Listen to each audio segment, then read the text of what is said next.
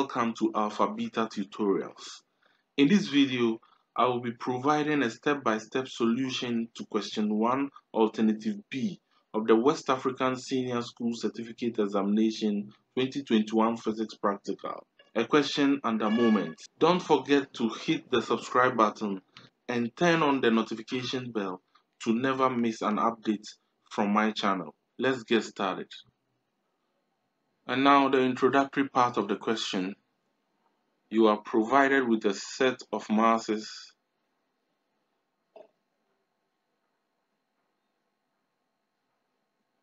A meter rule.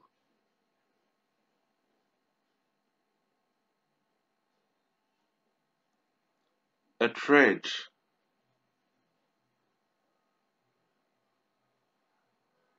Two retort stands and clamps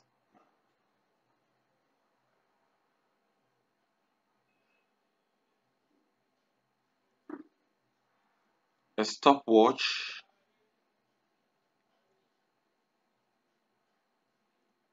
a knife edge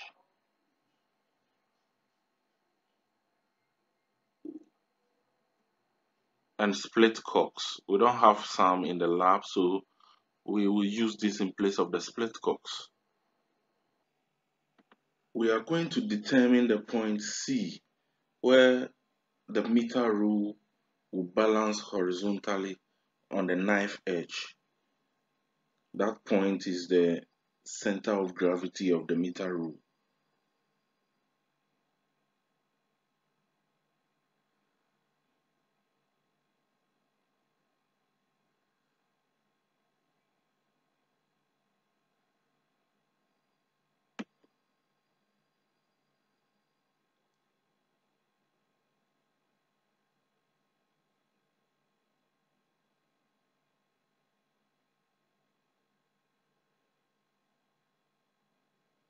So the point C is 50.2 centimeters.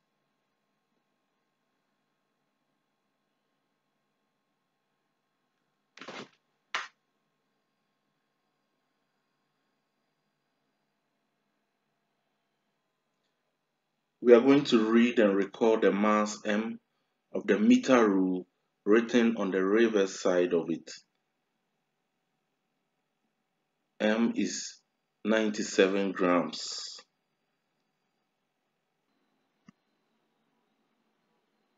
Suspend the meter rule by means of two parallel threads of equal length 70 centimeters. So we have this thread 70 centimeters. This is also 70 centimeters. With one at the 10 centimeters mark, so this thread is at the 10 centimeters mark of the meter rule and the other at the 90 centimeters mark.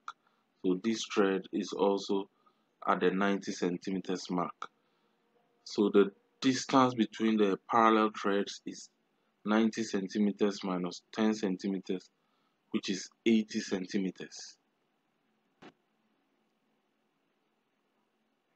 So this is at the 10 centimeters mark of the meter rule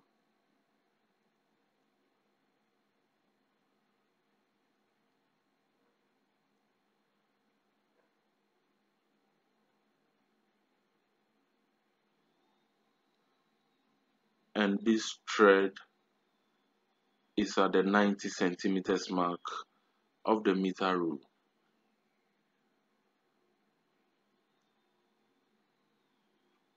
And the distance between the base of the split cork and the meter rule is 70 centimeters for each of the threads.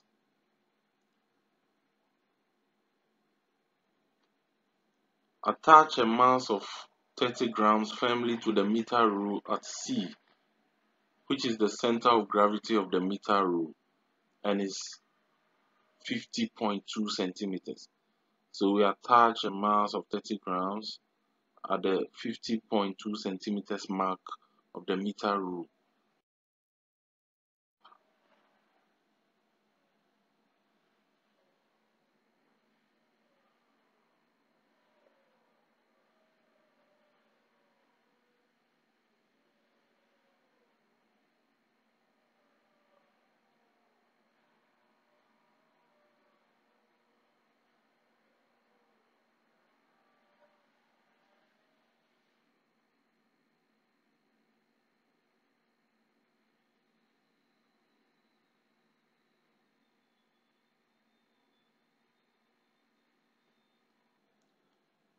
We are going to displace the ends of the meter rule in opposite directions to perform angular oscillations.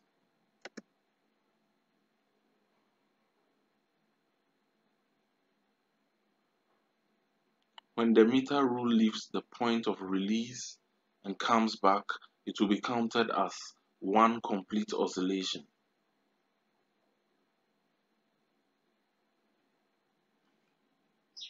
We are going to determine the time for 20 oscillations.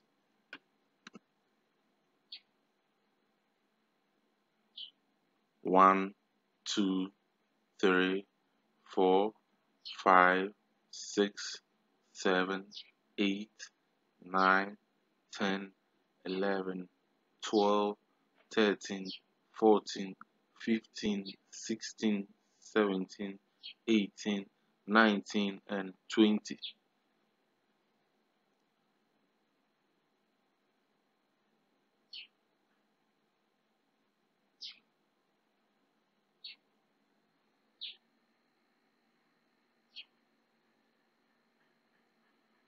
So the time for 20 oscillations is 21.53 seconds.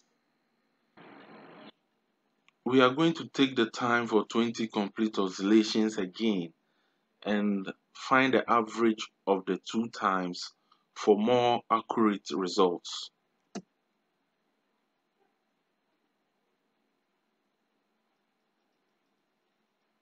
One, two, three, four, five, six, seven, eight, nine, ten, eleven, twelve, thirteen, fourteen, fifteen, sixteen, seventeen, eighteen, nineteen, twenty.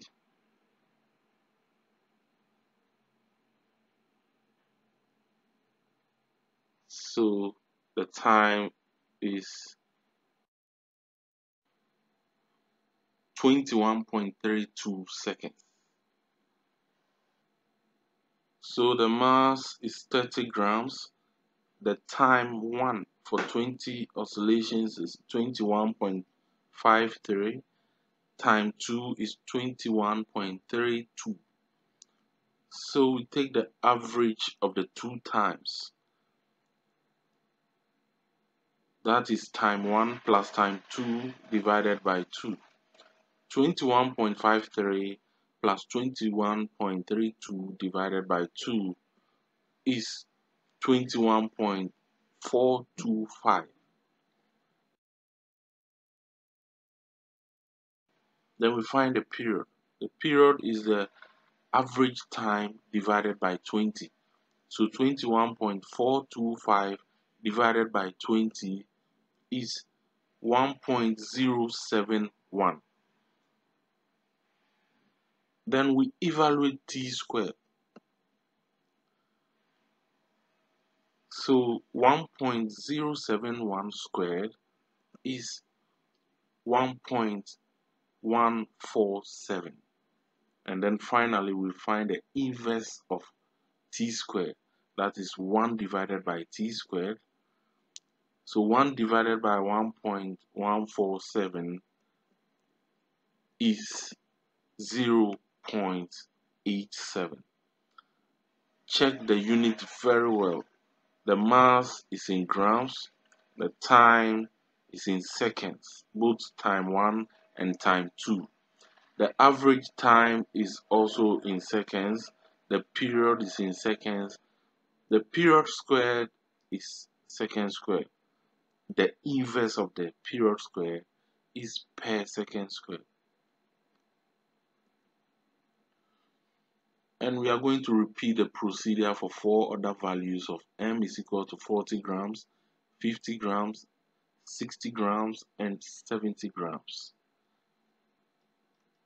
So we remove the 30 grams mass and fix a mass of 40 grams at the center of gravity of the meter rule, displace the ends in opposite directions, determine the time for 20 oscillations, determine another time for 20 oscillations, find the average of the two times,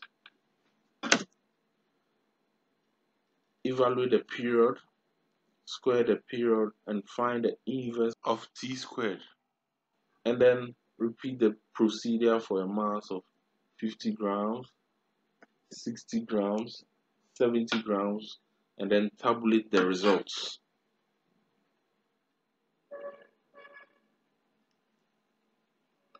Plot a graph of t exponent negative 2 on the vertical axis and m on the horizontal axis.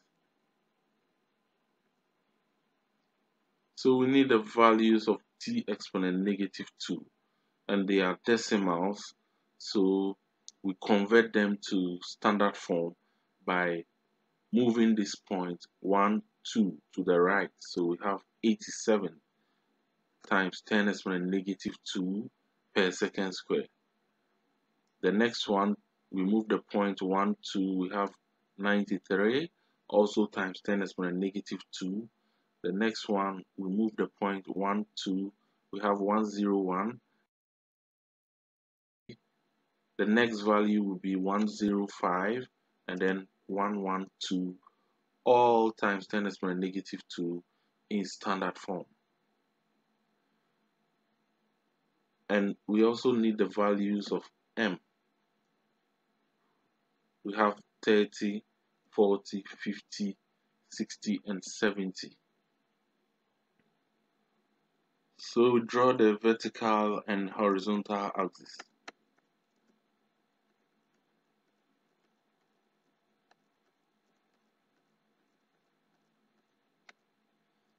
We are going to plot a graph of t exponent negative 2 on the vertical axis and m on the horizontal axis. So we choose a scale.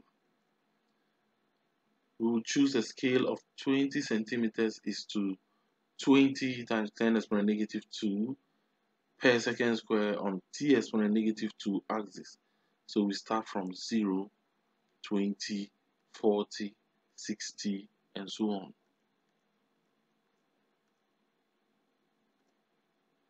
And on the m-axis we choose a scale of 2 centimeters representing 10 grams. So from 0 we move to 10 20 30 40 and so on.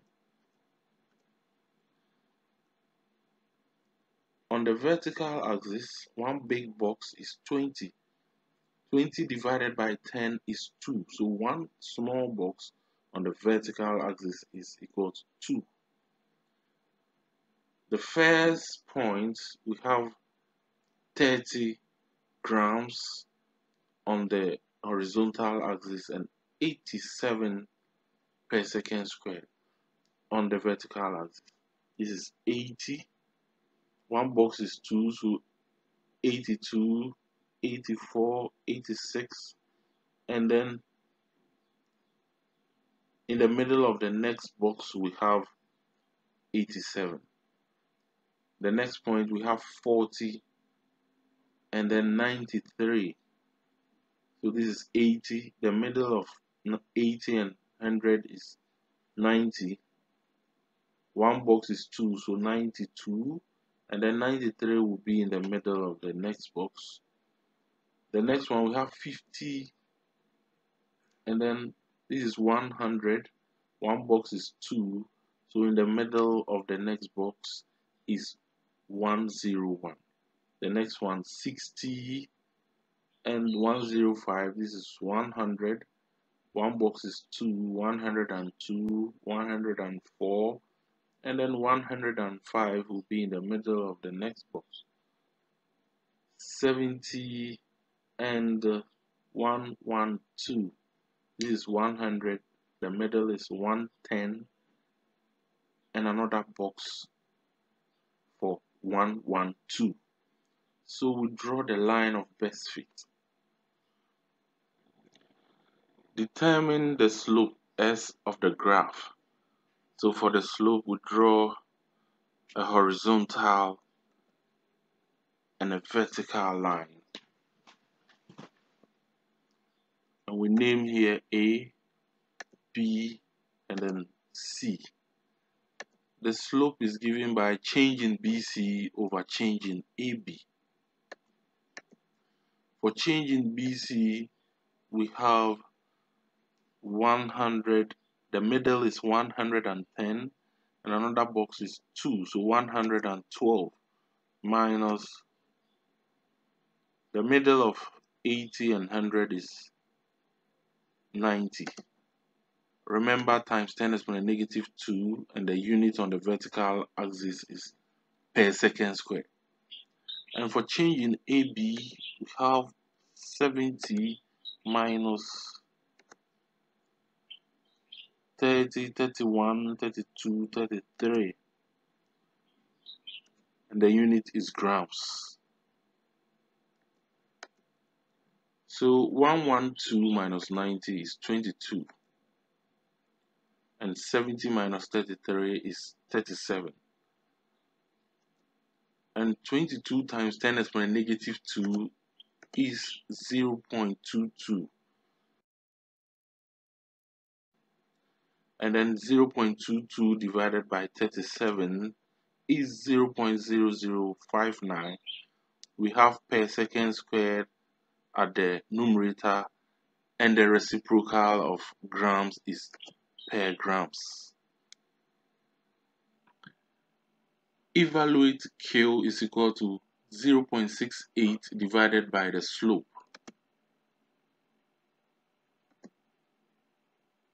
The slope is 0.0059 per second square per grams.